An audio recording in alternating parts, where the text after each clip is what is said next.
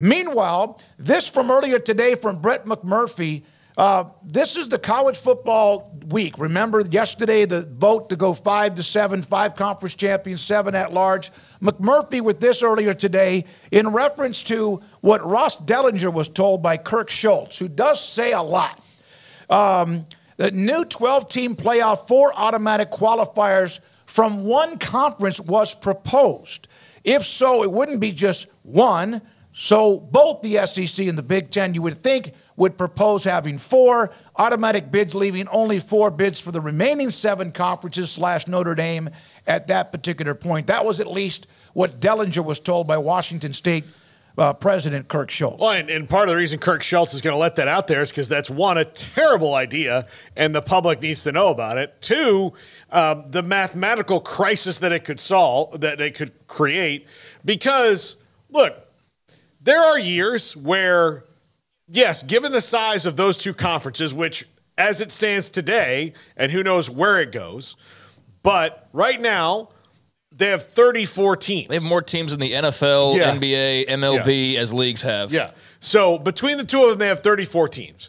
So reasonably, this is one of those things that maybe you ask for four and you get two. I mean, that's what they're they would be trying to do. But if you asked for four and got four, which I don't think any of those other conferences or Notre Dame would agree to, would mean that if you go through eight teams in each of those leagues, there's a pretty reasonable expectation that maybe in one or both of them, that the fourth ranked team in either one of them is below 12, right? So if one of them is 15th, then they could jump – have to jump three teams that are better than them just because they got an automatic? I don't think you can do that. Yeah. I, you know, you if you it's one through twelve based on what the committee decides in the last week of the season or the last week of when they do the standings. So if you have a team in the SEC or the Big Ten that's the fourth best, but they're fifteenth, they don't get in. Uh, that, unless, of course, there's some shenanigans, and but, we've thought about the possibility like, that's been the case too. But if there's four automatic qualifiers, and if you're the Big Ten and Michigan is second, and Ohio State is fifth, and Oregon is seventh. But then the next best team is, say, Penn State, and they're 16th. Right. Just because of how the cookies crumbled, you're going to have Penn State jumping over 14, everyone, 14. at least four teams to get to that spot. And and then maybe there could be another like that to me was where you run into you the where the that. math doesn't math. You can't. If they're not in the top 12, no matter how many automatic qualifiers guaranteed to a conference, it's got to be four guaranteed if you are a part of the top 12 based on how Which these is rules why they set. shouldn't do it. Yeah. Well, I mean, they could easily fill that field with just those two. If you look at the final sure rankings coming out of the uh, last weekend of the regular season, the championship weekend, if you include the teams that were in the Big 12 or in the Pac 12 that are now going to be in those two conferences, then you've got the top 13 teams. Now, granted, is Texas 12 and 1 if they're playing the SEC schedule? I, I don't know. Is Oklahoma 10 and 2? I, I don't know. Is Oregon 11 and 2?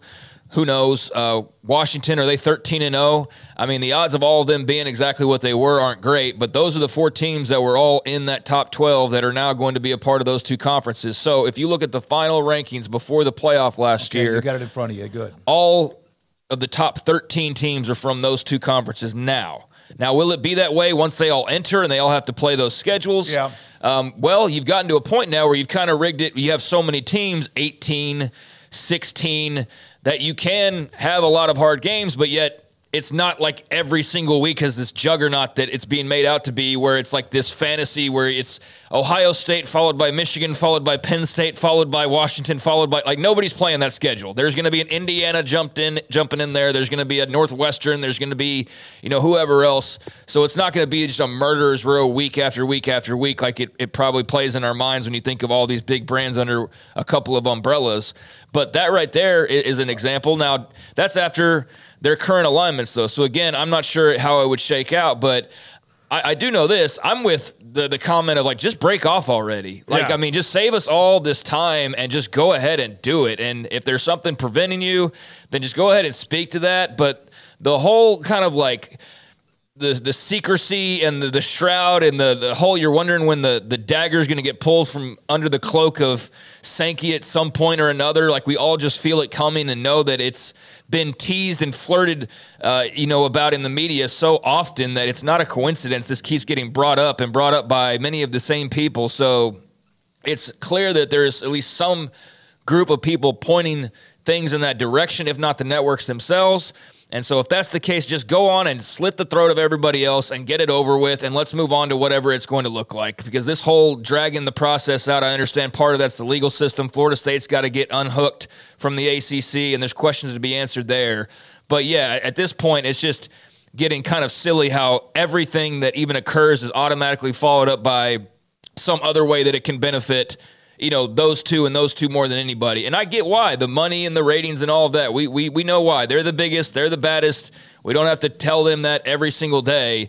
But yeah, the constant teasing of well, this is just the the calm before the storm, or it's the storm before the bigger storm. I, I'm just kind of just move on already. Like, hey, if, if Kansas State's going to be playing in a different playoff than Alabama, can we just fast forward to that point yeah. already? Because my God, the uh, the dragging out of it is um, and the the politicking of no, that's not what we're trying to do. Even though everybody is assuming that's exactly what you're trying to do, just say it. And if you can't, then you know I, I guess that's a legal thing, maybe. But Kansas uh, is building a. You're right. Kansas is building a brand new stadium or renovating. Baylor has McLane Stadium. TCU Amon Carter Tech is adding to what they have at uh, what is it? Jones AT&T Stadium. All these schools have added, added, added. Did they do that so they would be a part of a second tier? They may not. That that that may be the case.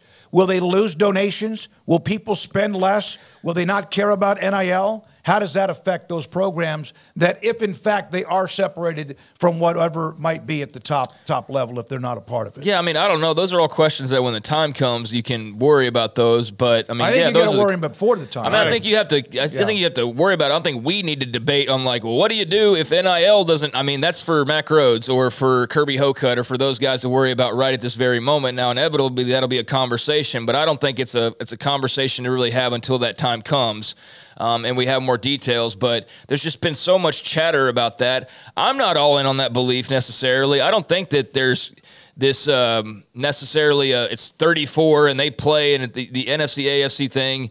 But a lot of signs point to that. I know there's a lot of fear amongst a lot of fans about that. And so I'm just at the point now where it feels like there's been this slow trickle for like an entire month now of the the the teasing of it all. And I just, uh, yeah, would love to just see Jim Sankey or, or excuse me, Greg Sankey yeah. uh, come out and just say, yeah, the playoff ends in two years, and that's when we're going to start the Super Two bowl bash or whatever the hell it's going to be. You know, just get to it already and, and quit trying to drag uh, other people along and say, no, it's all, we're all going to still be together and they're still going to find a way. If that's the case, then maybe tamper down some of the other talk about that not being the case because I feel like most of the time you're saying the one thing and then behind the scenes people are feeding Ross Dellenger or Brett McMurphy or whoever the complete opposite narrative. So the messaging's different for a reason and uh, and most people are assuming it's for the reason that uh, most people that a lot of people would not want to see, which is that that breakaway. But time will tell, I guess. Uh, from Justin, who sent me a note, I think it was a, actually a text to our text line a few weeks back. The NIT playoff thing I texted a few weeks ago looks better and better each day.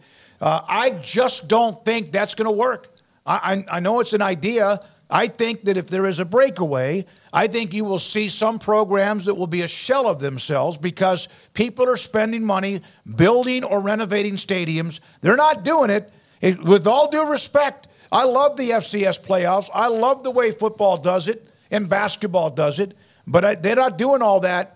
Giving coaches six, seven, eight million dollars a year to be a part of a secondary level of college football that's not the national championship. But again, they may not have much well, of a choice at some I, point. I think it's going to be interesting to see how that fight will be because there'll be universities that say, well, we're just, especially if they're given an option, like, look, if you want to spend to this level, you can come to this level. And they're going to say, well, we don't know if we can do that. There's going to be big power brokers, though you bet your ass you can. Uh, otherwise, we're, we're out, we're not building you science labs because they want everything to be, they don't want to compete for the lesser title. They want to be in the big one. And, it, it, uh, yeah, it's it's weird. Just, but I'm with Craig. Just tell us what your nefarious, evil plan is, and if if somebody can come in and thwart it, fine. If not, you know, I I want to welcome our new alien overlords and look forward to the future. I haven't I seen a lot from the commissioners' meetings, by the way, that are going on today, uh, other than that comment from Schulz to Dellenger from Brett McMurphy. Yeah, I just I, I don't want to go on a rant about all of that, but it's just been a com- com- constant conversation, like almost daily now for a couple of weeks. It seems like, and the reason why I, I bring it up the way that I bring it up is, again, I'm I'm not necessarily.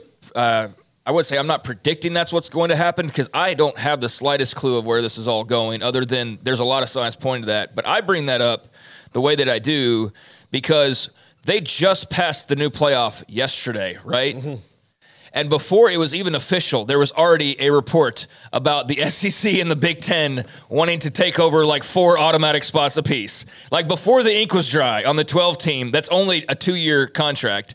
There was already the positioning. So that's just, that's been constant with every single story. It's like, oh, well, they've agreed to this, but there's assurances. And I, I hey, throw your power around and do it. But man, yeah, let's just let's get to the point where people know what's what, and we can kind of focus on what's what rather than uh, rather than what may be. And I, and I understand that's that's part of realignment is that game of like where will people be in five years.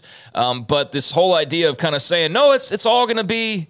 It's we're, we're looking at changes. We're and looking at every, what's best for the ecosystem. yeah, the, the eco, you talk about the ecosystem, and then the, the before the the last signature even got done, like the Y was curled. You're already sending out flares to ESPN and Yahoo Sports about how the two of you want to have like three fourths of the field automatically, and so that just that, How much that seems that to be doing one thing. How much of that is Well, public of, negotiation? yeah, a lot of it, but. I don't feel like you really need to do that. I know not if you're doing what's best for the ecosystem. If you have all Yeah. the power, all the biggest brands, like why are you needing to float out to Twitter that uh, you're wanting this certain arrangement? I mean, I don't think that we're going to do anything to stop it, no matter how much we pound the table for access for the G5s or for a Big 12 guarantee or the ACC to have their automatic whatever. No matter what we would say in any circumstance, we're not changing things. So I, I get that. That yeah, some of it's just the public politicking, but I don't really feel that that's all that necessary if you're them because you already have basically all the the best cards. So Yeah, it, it, it- and it's a great question for a commissioner and or ads over the next few weeks once all the dust settles, if it ever does. Uh, Stewart Mandel on.